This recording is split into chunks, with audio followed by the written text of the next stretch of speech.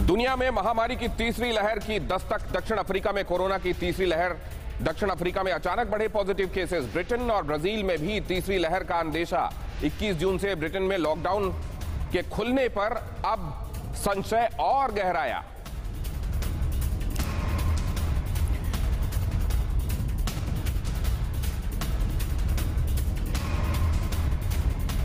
जी तो क्या तीसरा झोंका टीके को दे देगा धोखा।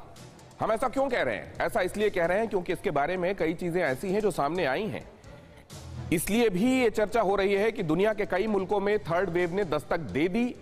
ये अब स्पष्ट होता जा रहा है। मसलन देखिए थर्ड वेव को प्रमाणित करने वाले या थर्ड वेव की आशंकाओं को बल देने वाली कौन सी बातें हैं जो सामने हैं? तीसरा झोंका, क्या टीके को देगा धोखा? उसका पहला चरण यह कि क्या थर्ड वेव आ गई? थर्ड वेव अगर नहीं आई है तो क्यों नहीं आई है और आई है तो किन मुल्कों में आई हुई दिखाई दे रही है? जरा देखिए, नए केसेस नौ हज़ार एक सौ उनचास और ये पूरे दक्षिण अफ्रीका का सैंतीस परसेंट। पॉजिटिविटी रेट पंद्रह दशमलव सात और कुल मौतें पूरे अफ्रीका का तिरालीस परसेंट। ये बहुत बड़ा फिगर है, ये देखिए। ये दक्षिण अफ्रीका के संदर्भ में हम बात कर रहे हैं। सात दिन का औसत के, औसत केसेस अगर आप देखें तो सात दिनों में, एक हफ़्ते में एवरेज केसेस वहाँ जो आ रहे हैं, पाँच हज़ार नौ सौ उनसठ। सबसे ज़्यादा प्रभावित प्रांत जो है वहाँ का वो गौतेंग है। ये क्यों हो रहा है? ये दक्षिण अफ्रीका में, ब्रिटेन में, वहाँ से डरावनी खबरें क्यों आ रही हैं? ब्रिटेन में देखिए। ब्रिटेन के संदर्भ में दिखाइए।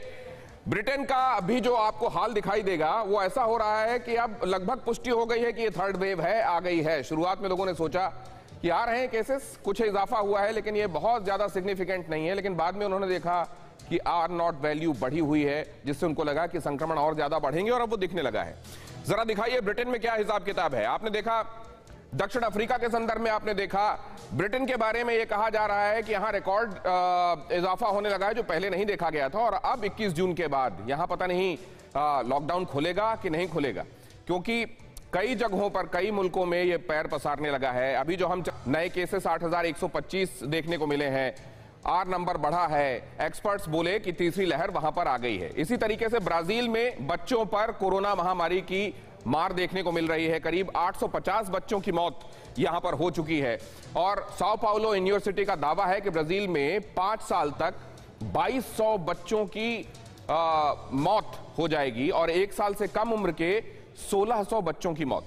अब अगर ये है तो फिर अब क्या संशय रह जाता है कि थर्ड वेव ने दस्तक दे दी है? ये ज़रूर है कि हमारे यहाँ अभी शायद वो लहर उसका पहुँचना, उसके छींटे आने बाकी हैं और भगवान करे वो ना आए, लेकिन अगर ऐसा